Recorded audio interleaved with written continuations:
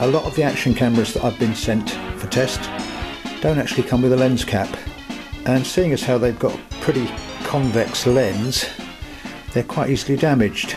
You do get some that come with a lens cap like the Git 2 and this is quite a good one because it actually stands quite proud of the lens but on the whole I'm not that keen on them because if the inner surface of the lens cap contacts the lens it's liable to scratch it. So I figured what's a good way to make a lens cap? Coca-Cola type bottle lids are just about the right size but too loose. So I cut some foam of the kind of stuff that you get round packaging when you buy from Amazon and so on. Just cut a strip of this like so. The width of it wants to be such that it would actually fit in here and be slightly proud of the top. Just stick out a little bit like that.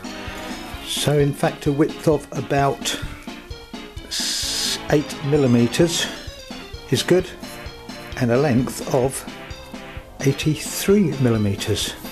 And that will just fit in here like so.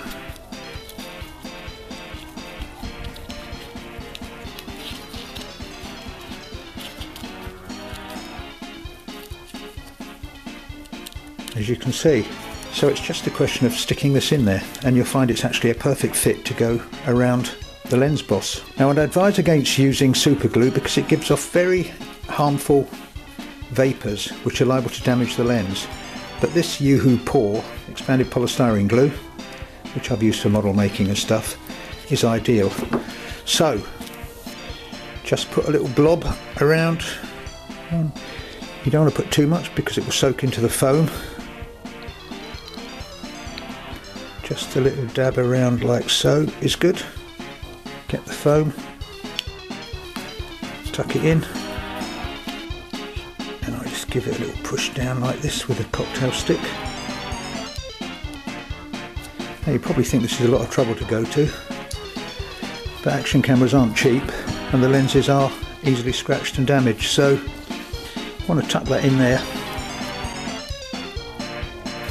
And like I say, it's just a slight lip sticking over the top, in my opinion, and leave it to dry.